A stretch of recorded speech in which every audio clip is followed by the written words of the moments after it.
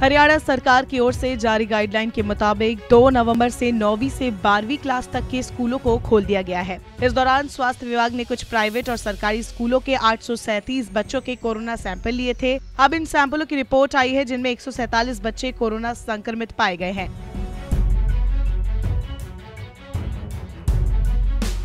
हरियाणा में कुल एक रेवाड़ी ज़िले में एक साथ बहत्तर, जिंद में उनतीस, सिरसा में सोलह, कैथल महेंद्रगढ़ में बारह बारह और हिसार में छह बच्चे अभी तक कोरोना संक्रमित मिले हैं। इन आंकड़ों को देखते हुए विपक्ष ने सरकार से स्कूल खोलने के फैसले पर फिर से विचार करने की मांग की है। वही हरियाणा के शिक्षा मंत्री कंवर पाल ने साफ़ कर दिया है कि अभी स्कूलों को बंद करने की दिशा में कोई फैसला नहीं लिया जाएगा। सभी स्कूल प्रबंधकों को कोरोना गाइडलाइन का सख्ती से पालन करने के निर्देश जारी किए गए हैं। एक बच्चों का कोरोना संक्रमित हो जाना प्रशासन की घोर लापरवाही दर्शाती है।